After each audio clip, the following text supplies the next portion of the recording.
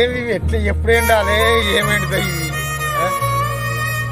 ఎండుడేంది కథ ఏంది అర్థం అవుతుంది